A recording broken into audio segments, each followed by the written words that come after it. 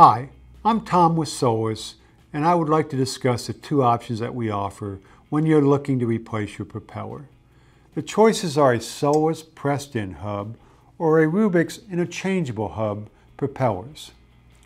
Let's talk about the advantages of both.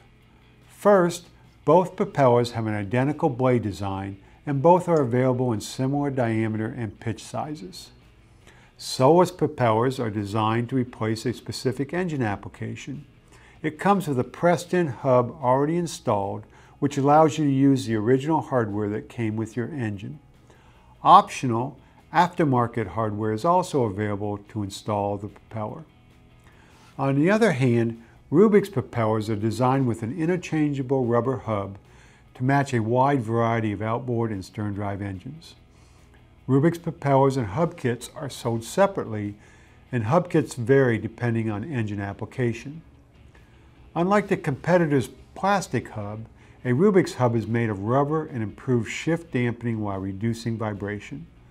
The Rubex hub will deflect 10% in either direction and is reusable if the propeller blade is damaged or worn. The Rubex hub is easily inserted into the back of the propeller, which allows you to change your propeller to gain maximum efficiency and power depending on your load. The thrust washer, spacer, and lock washer are included to correctly install the propeller. Always consult your local marine dealer if you have questions concerning your engine application.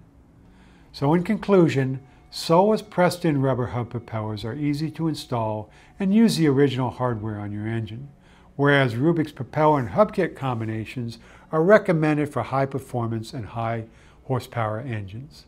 Thank you.